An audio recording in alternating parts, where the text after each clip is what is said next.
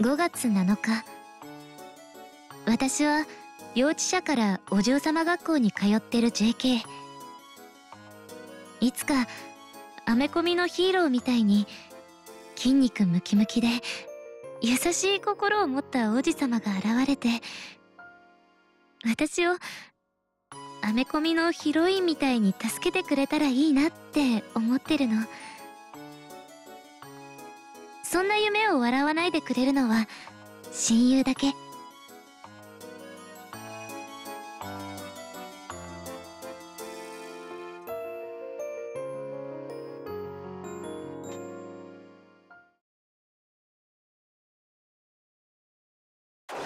ある日校外学習で学校の外に出た時私は野犬に襲われてピンチに陥ったの。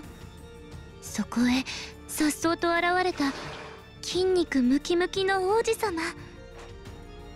大丈夫かい君？私は彼に一目惚れしたのです